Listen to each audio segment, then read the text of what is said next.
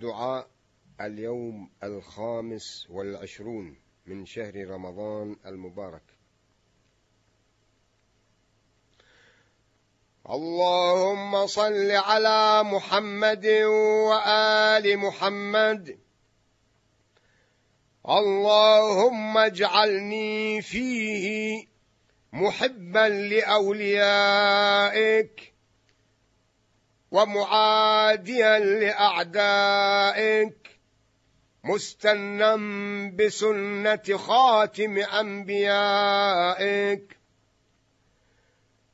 مستنا بسنة خاتم أنبيائك. يا عاصم قلوب النبيين.